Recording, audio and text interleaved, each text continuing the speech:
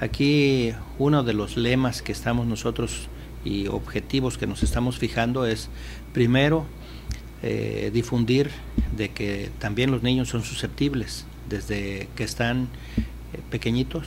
Hay niños que al momento de nacer podemos identificar en ellos problemas de cáncer como es el retinoblastoma, como es el nefroblastoma y en los niños que son menores de 18 años, o sea, desde 1 a 18 años, eh, la presencia de algunos tipos de cáncer como son leucemias, linfomas, eh, cánceres del sistema nervioso central que son los más frecuentes en esta edad y algunos otros que son de huesos y de partes blandas, así como de riñón y de hígado. Eh, aquí la situación eh, queremos difundirlo, que sepan que tenemos que estar alertas, que por fortuna el cáncer identificado en buen tiempo en los niños es curable y que no sigamos como hasta el año pasado en donde pues era encontrar eh, pues ya al pequeño con síntomas y signos de cáncer, pero en etapas finales, en etapas terminales, en donde ya la situación solamente es paliativa mientras ocurre el deceso. Entonces, ¿qué es lo que tenemos que hacer? Primero capacitar a todo el personal, que eso ya se llevó a cabo el año pasado en tres etapas, pudiendo capacitarse eh, de todas las jurisdicciones en el estado a más de o cerca de 900 personas, médicos, todos, para poder eh, ir difundiendo posteriormente en todas las instituciones de salud y bajar esta información y sensibilizar a nivel privado para que podamos enviar a cualquier paciente con sospecha en forma pronta al centro de cancerología en Acapulco. Ese es el sitio que está eh, pues eh, implementado y suficiente para poder hacer diagnóstico y tratamiento en niños de menores de 18 años. Doctor, ¿hay alguna sintomología que, los niños presenten para que el padre pueda decir?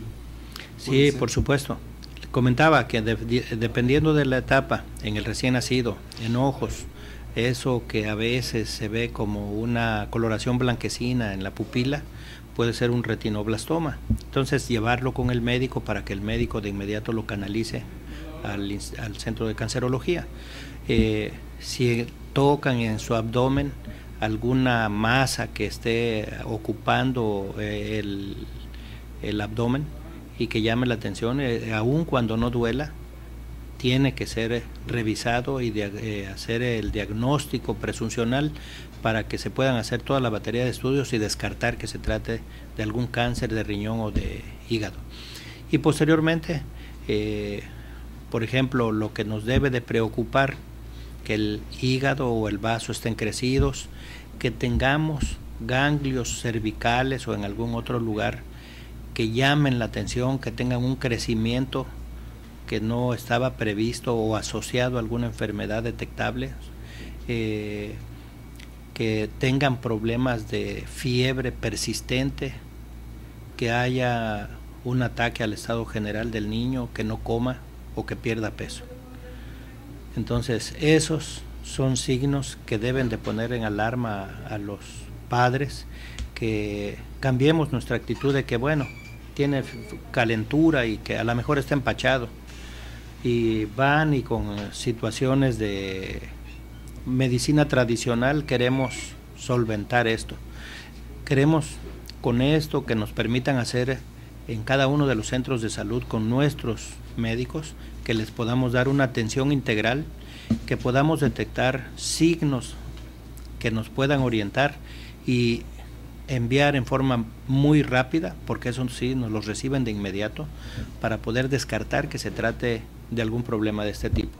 En relación al cáncer cervicuterino, como ya lo mencionaba el doctor, desgraciadamente el cáncer cervicuterino ya ocupa el segundo lugar por atrás del cáncer de mama. ¿sí? Eh, en nuestro país fallecen aproximadamente 4.000 mujeres al año, lo que se refleja en 11 muertes diarias con, de cáncer cervicuterino contra 16 defunciones de cáncer de mama. Tan solo en nuestra jurisdicción, el año pasado nosotros hicimos 14.700 detecciones, hablando ya de cifras, ¿sí?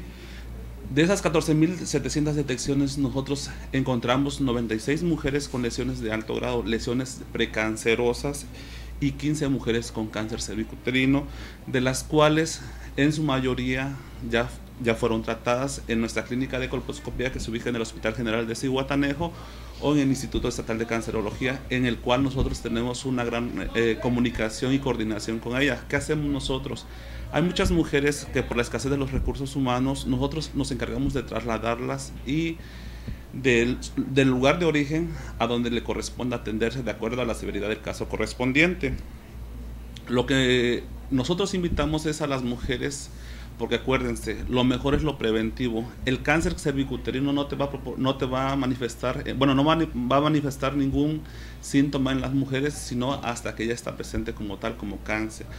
Lo importante es hacer la prevención en las mujeres. ¿Y cómo vamos a prevenir? Pues que todas las mujeres de 25 a 34 años se tomen su papá Nicolau en la unidad de salud correspondiente y de 35 a 64 años que se realice la prueba de toma de papilomavirus. Esta prueba busca específicamente la presencia en el cervix del virus del papiloma humano, que es el que ocasiona de manera directa el cáncer cervicuterino. ¿sí?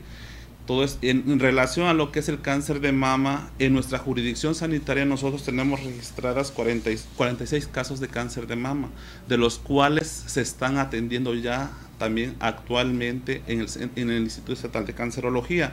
Contamos con un mastógrafo también, el cual se ubica en el Hospital General de Ciguantanejo.